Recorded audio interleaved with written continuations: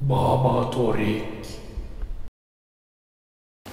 Brezilya Ligi'nin 6. haftasında haftanın en önemli karşılaşması 3. sıradaki Corinthians evinde e, kayıpsız giden lider Sao Paulo'yu e, konuk edecek. Sao Paulo 15 puanda 5 maçta 5 galibiyetle lider. E, Corinthians ise 3. sırada 10 puanı var.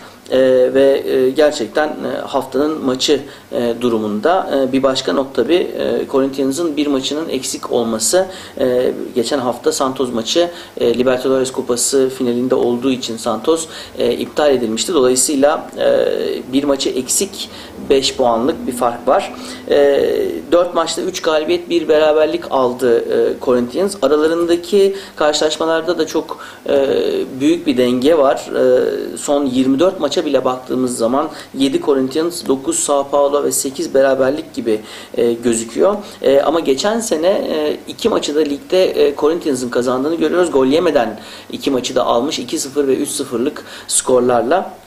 Bu sene e, son oynanan karşılaşmada e, 27 Mart'ta oynanan maçta ise Sao Paulo rakibini 2-1 e, yenmişti. Aralarında oynanan son e, 4 maçın e, 3'ünün üst bittiğini de hemen e, söyleyelim.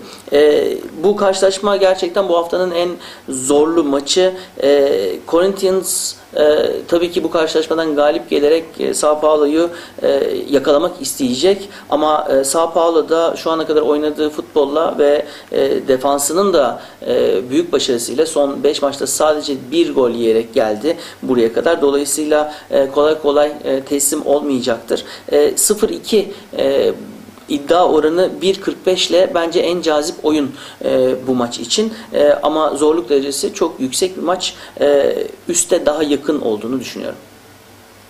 Baba Torik.